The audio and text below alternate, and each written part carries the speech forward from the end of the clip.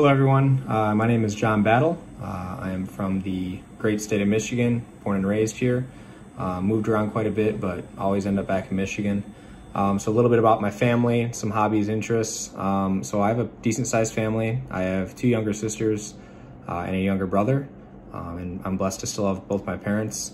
Um, some of my hobbies, interests, uh, interests, I mean, I've always been fascinated by uh, airplanes.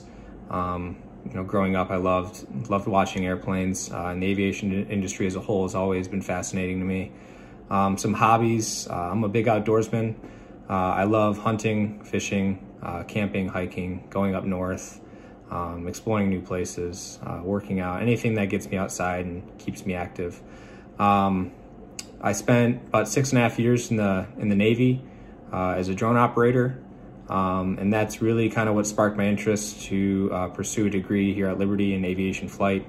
Um, you know, being around drones and other airplanes, uh, it, it, really, you know, made me want to change my career. Um, so currently I work for Ally Financial. Uh, I also have a finance degree. So um, it's, I'm in product development. I work on uh, uh, dealership insurance, products and services, stuff like that. Do a lot of reporting. Um, it's, it's a good job. It's just I can't sit behind a desk all day, so that's why I'm making a career change. Um, after this course, uh, I only have a handful of classes left. I should be on track to graduate this summer. Um, I'm hoping by May to have my instructor uh, certification so I can start instructing this summer and start building hours. And then from there, I'd like to get in with a small cargo carrier.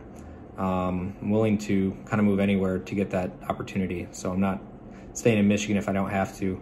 Um, but long term, I'd like to be a pilot for FedEx um, or Delta. Uh, my mom's been at Delta for 30 years, so it'd be really cool to get an opportunity to possibly work with her. Um, and I don't think I'll probably go to school after this. I'm kind of burnt out with school, so uh, this will probably be my last hurrah. Um, what would I like to learn from this course? Uh, well, uh, multi-engine theory, um, the ins and outs of you know multi-engine flight, um, hoping it, you know, I'm taking this along with the multi-engine flight course, so I'm hoping it will make me a better and more knowledgeable pilot. All right, that's my introduction. Thank you.